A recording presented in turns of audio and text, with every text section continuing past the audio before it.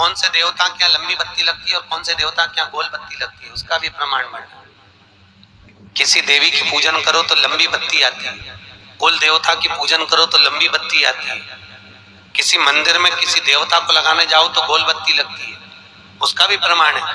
लंबी बत्ती जहाँ लगाई है, अगर लक्ष्मी के सामने लगाई है तो लक्ष्मी की लंबाई बढ़ती है, लक्ष्मी की वृद्धि बढ़ती है।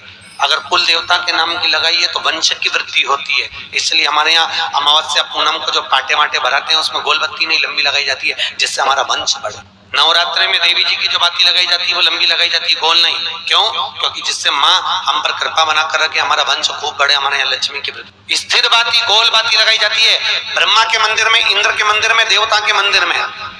तुलसी के सम्मुख में लंबी बाती नहीं लगती, तुलसी के सम्मुख में गोल बाती लगाई जाती पीपल के वृक्ष के नीचे कभी लंबी बाती नहीं लगती।